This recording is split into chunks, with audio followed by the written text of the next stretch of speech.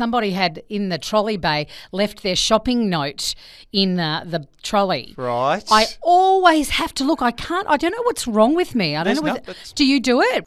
The Bay Morning Crew with Mark and Milly. Perfectly fine. So I was pushing my trolley and I just happened to sort of look at the note and there was just basic things milk, bread, you know, broccoli, blah, blah, blah, blah, blah. Yes. But down the bottom in capitals, the person had written in blue pen, in capitals, Yeah. and then exclamation mark afterwards, those nuts.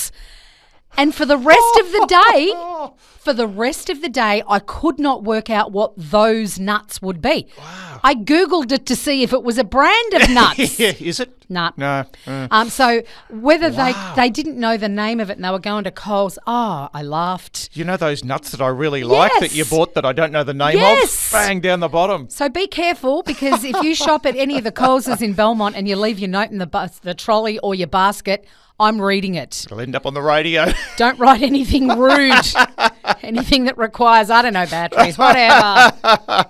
The Bay Morning Crew with Mark and Milly.